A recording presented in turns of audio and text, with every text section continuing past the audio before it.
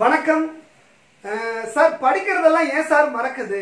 அப்படிங்கிற கேள்வியை கேட்க கேட்க விரும்புறீங்களா? அந்த கேள்விக்கான பதில் தெரியணும்னா பின்னாடி நான் ஒரு கேள்வி எழுதி வச்சிருக்கேன் பாருங்க. அதற்கான பதிலை நம்ம தெரிஞ்சுக்கணும்.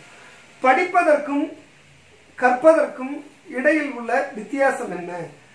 படிப்பதற்கும் கற்பதற்கும் இடையில் உள்ள வித்தியாசம் என்ன? அப்படிங்கிற கேள்விக்கான பதில் நமக்கு தெரிஞ்சாதான் படிக்கிறது நமக்கு ஏன் மறக்குது அப்படின்றத நம்மளால கண்டுபிடிக்க முடியும். இன்னைக்கு அந்த கேள்விக்கான பதிலை தான் பார்க்க போறோம். உங்களுக்கு ரொம்ப ஆச்சரியமாக இருக்கும். அது என்ன சார்? படிக்கிறது வேறு கற்பது வேறையா? அப்படின்னு. கண்டிப்பாக இரண்டும் வேற வேற தான் நீங்கள் ஆங்கிலத்தில் ஒரு மூணு வார்த்தை கேள்விப்பட்டிருப்பீங்க. ஒன்று ரீடிங் அதை தமிழில் என்ன சொல்லலாம் அப்படின்னா வாசித்தல் அப்படின்னு சொல்லலாம். இரண்டாவது ஸ்டடிங் அதை தமிழில் என்ன சொல்லலாம் அப்படின்னா படித்தல் அப்படின்னு சொல்லலாம். மூணாவது லேர்னிங் அப்படின்னா அதை தமிழில் எப்படி சொல்லலாம் அப்படின்னா கற்றல் அப்படின்னு சொல்லலாம். அப்ப இந்த மூணும் வேற வேறையா? ஆமா மூணு வேற வேற தான் ரீடிங் வேற ஸ்டடிங் வேற. அது எப்படி சார் ரீடிங் வேற ஸ்டடிங் வேறயா? கண்டிப்பா இரண்டு வேற வேற தான் ஒன்றும் இல்ல. ஒரு புத்தகத்தை எடுத்து நீங்க வாசிக்கிறீங்க அப்படின்னா அது பேரு ரீடிங் இதுல நீங்க படிச்ச தகவல் உங்க மூளையில முழுமையா பதிவாகணும் அப்படிங்கிற அவசியமே இல்லை. நீங்க அதை படி வாசிச்சா போதும். இது பேர் தான் ரீடிங் ஆனால் ஸ்டடிங் அப்படிங்கிறது அதே புத்தகத்தை நீங்க வாசிக்கும் போது அதுல இருக்கக்கூடிய தகவல் எல்லாம் உங்க மூளையில பதிவானா தான் அது பேரு ஸ்டடிங் அதாவது படித்தல் அப்படிங்கிறது. அப்ப ரீடிங் வேற ஸ்டடிங் வேற அப்படிங்கறத தெரிஞ்சுப்பீங்க. அதே போல ஸ்டடிங் வேற லேர்னிங் வேற அதாவது படித்தல் வேற கற்றல் வேற இந்த இரண்டுக்குமான வித்தியாசம் தெரிஞ்சாதான் நம்ம படிக்கிற தகவல் நமக்கு ஏன் மறந்து போகுது அப்படிங்கிறது உங்களுக்கு தெரியும். சார் அப்ப அந்த இரண்டுக்குமான வித்தியாசம் என்ன சார்? அப்படின்னா வேற ஒண்ணும் இல்லை. இப்போ உங்களுக்கு நான் இந்த பின்னாடி இருக்கக்கூடிய போர்டுல கீழே இந்த கேள்விக்கு கீழே என்னுடைய வாட்ஸ்அப் நம்பரை நான் எழுதியிருக்கேன். அதாவது nine three six zero five nine seven one two eight. தமிழ்லையும் சொல்றேன் தொண்ணூத்தி மூணு அறுபது ஐம்பத்தொன்பது எழுபத்தி ஒன்னு இருபத்தி எட்டு. என்ன இது? இவரோட நம்பரை இவரே வாசி பார்த்து தான் சொல்றாருன்னு நினைக்காதீங்க. இது அதிகமா எனக்கு பழக்கமாகாத நம்பர் சரிங்களா? சரி. இப்ப இந்த நம்பரை நீங்க உங்க மனசுல பதிய வைக்கிறீங்க அப்படின்னு வச்சுக்கோங்க. சரிங்களா? இன்னொரு கேள்வி கேட்டுறேன். உங்கள யாருக்காவது நீச்சல் தெரிஞ்சவங்க இருக்கீங்களா? சரி நீச்சல் தெரிஞ்சவங்க இருந்தீங்கன்னா உங்களுக்கு தான் இப்ப இந்த டாஸ்க் இந்த நம்பரை நீங்க உங்க மனசுல உங்க மூளையில பதிவு பண்ணி வைக்கணும். இப்ப நீங்க பதிவு பண்ணிக்கோங்க. சரி. இந்த நிமிஷத்துல இருந்து இந்த பதிவு பண்ணிட்ட இந்த நிமிஷத்துல இருந்து இந்த நம்பரை ஒரு அஞ்சு வருஷத்துக்கு நீங்க பார்க்கவே போறதில்ல அப்படின்னு வச்சுக்கோங்க. சரிங்களா?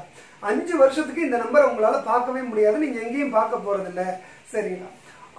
அஞ்சு நம்ம அதே போல அந்த அஞ்சு வருஷத்துல உங்களுக்கு நீச்சல் அடிக்கக்கூடிய மாதிரியான நீர்நிலைகளையும் நம்ம பார்க்க போறதே இல்லை. சரிங்களா? அஞ்சு வருஷமா நீங்க நீச்சல் அடிக்க போறதில்ல.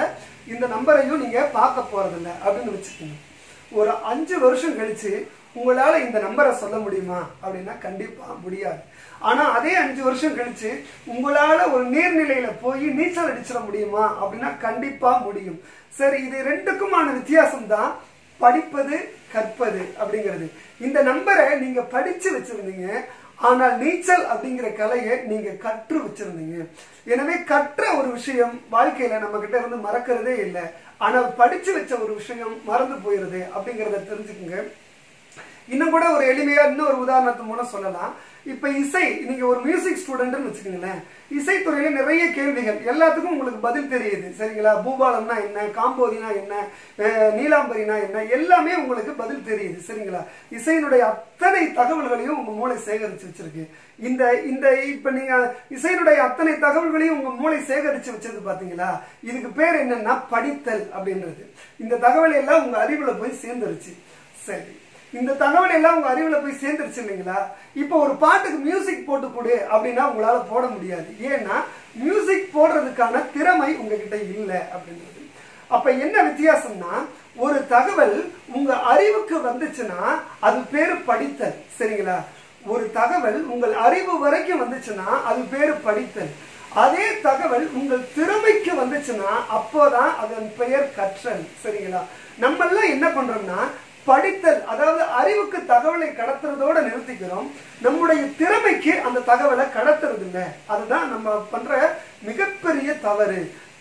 கற்றல் அப்படிங்கிற நிலை நிலைக்கே நம்ம போறதில்லை. நம்ம என்ன நினைக்கிறோம்? இந்த தேர்வுல பாஸ் ஆகிட்டா போதும். அதுக்கு என்ன இன்ஃபர்மேஷன் வேணுமோ அதை மட்டும் மூளையில ஏத்தி ஏத்தி வச்சுக்கிறோமே தவிர உண்மையிலேயே இந்த தகவலை நான் தெரிஞ்சுக்கணும். இது எனக்கு தேவை. ஆர்டிகல்ஸ் எல்லாம் சொல்றாங்க. அலெக்சாண்டர்னு சொல்றாங்க. அசோகர்னு சொல்றாங்க. அக்பர்னு சொல்றாங்க. பாபர்னு சொல்றாங்க. இது எல்லா தகவல்களையும் நான் உண்மையிலேயே என் வாழ்க்கைக்கு இந்த தகவல்கள் எல்லாம் தேவை. அப்படின்னு நினைச்சு ஒவ்வொரு தகவலையும் உங்க திறமைக்குள்ள கொண்டு வந்து சேர்த்தீங்கன்னா தான் அதன் பேர் கற்றல். சும்மா மூளையில மட்டும் பதிவு பண்ணி வச்சுட்டு தேர்வு எழுதிட்டு வந்துட்டா போதும் அப்படின்னு நினைச்சீங்கன்னா அது பேர் படித்தல். ஆக படிச்சா ஒரு தகவல் மூளையில பதியாது.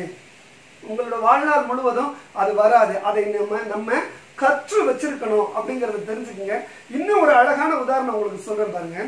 டைப்பிங் மிஷினை நீங்க பார்த்துருப்பீங்க டைப் ரைட்டர் மிஷினை அதுல ஒவ்வொரு எழுத்துக்கும் ஒரு ஒரு விரல் இருக்கும். கியூனா சுண்டு விரல் டபிள்யூனா இந்த மோதிர விரல் e ஈனா நடுவிரல் ஆறுனா இந்த ஆட்காட்டி விரல். இப்படி இருக்கும். இந்த தகவல் எல்லாம் நம்ம மூளையில வந்து சேர்ந்துருக்கு. இதன் பேர் என்னதுன்னா படித்தல். இந்த தகவல்லாம் உங்க மூளையில சேர்ந்துருச்சுன்னா அதன் பேர் படித்தல். கியூனா சுண்டு விரல் டபிள்யூனா மோதிர விரல் ஆறுனா நடுவிரல் டீனா ஆட்காட்டி விரல். இந்த தகவல் எல்லாம் உங்களுக்கு தெரிஞ்சிச்சுன்னா இது பேர் படித்தல். சரி இந்த தகவல் எல்லாம் உங்களுக்கு தெரிஞ்சிருச்சு உங்க அறிவில் இந்த தகவல் எல்லாம் ஏறிடுச்சு இனிமே உங்களால் டைப் பண்ண முடியுமா? அப்படின்னா அவ்வளோ வேகமாக உங்களால் டைப் பண்ண முடியாது. டைப் பண்ணணும்னா இந்த தகவல்லாம் தெரியணும். அதை நான் ஒத்துக்கிறேன். ஆனால் இந்த தகவல் எல்லாம் தெரிஞ்சு வச்சிருந்தா மட்டுமே டைப் பண்ண முடியுமானா முடியாது. சில டைப்பிஸ்டுங்களை நம்ம பார்த்துருப்போம். அவங்க நம்ம கிட்ட பேசிக்கிட்டே இருப்பாங்க. ஆனால் ஒரு பக்கம் டைப் பண்ணிக்கிட்டே இருப்பாங்க. இல்லைங்களா? அவங்க யோசிச்சு யோசிச்சுலாம் அடிக்க மாட்டாங்க. ஓ இப்போ நம்ம கியூ அடிக்க போகிறோம் கியூனா சுண்டு விரல் தான் டபிள்யூ அடிக்க போகிறோம் டபிள்யூனா இந்த மோதிர விரல் தான். அப்படியெல்லாம் யோசிச்சு யோசிச்செல்லாம் டைப் பண்ண மாட்டாங்க. நம்மக்கிட்ட அவங்க பேசிக்கிட்டே இருப்பாங்க ஒரு பக்கம் டைப்பிங் போய்கிட்டே இருக்கும். இது எப்படி அவங்ககிட்ட வந்துச்சு அப்படின்னா இந்த தகவல் எல்லாம் அவங்களோட அறிவுக்கு போய் அறிவோடு நிற்காம அவங்க திறமையிலையும் போய் சேர்ந்துருக்கு அப்படின்னு தான்.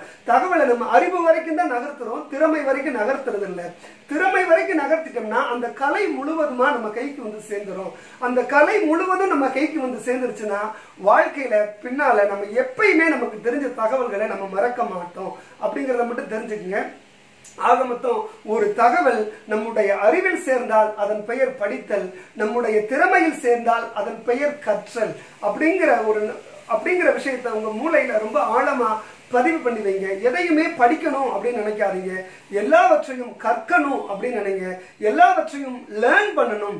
We have to learn everything அப்படின்னு நீங்க நினைச்சீங்கன்னா உங்க மூளைக்கு வந்து சேரக்கூடிய எந்த தகவலும் லாஸ் இல்லாம அங்கேயே இருக்கும் அப்படிங்கறத மட்டும் நல்ல மனசுல பதிவு பண்ணி வச்சுக்கோங்க. நாளைக்கு இதே மாதிரியான ஒரு நல்ல விஷயத்தோட வேறொரு வீடியோவில் உங்களை வந்து சந்திக்கிறேன். நன்றி.